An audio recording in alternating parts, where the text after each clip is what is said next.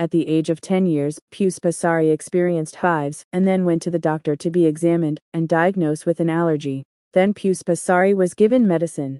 After many years, it turned out that Puspa Sari was declared to have progeria syndrome.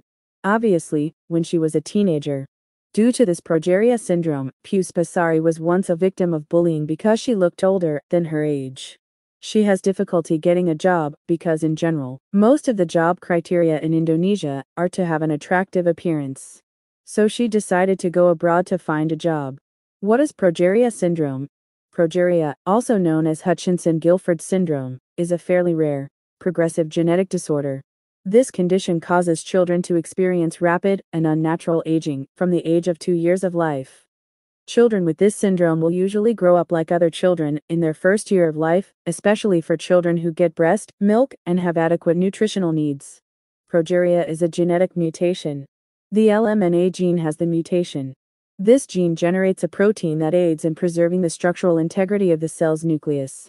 A cell's structure is fragile if its nucleus lacks strength.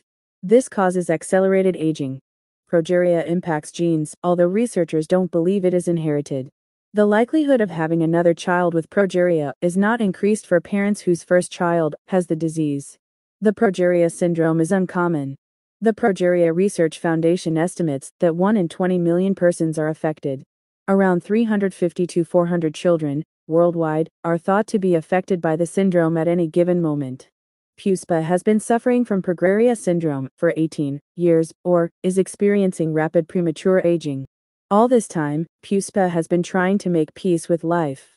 She doesn't want to deal with other people's negative comments about her. Puspa Sari continues to be active on the social network TikTok. She often uploads various content, one of which tells about premature aging syndrome.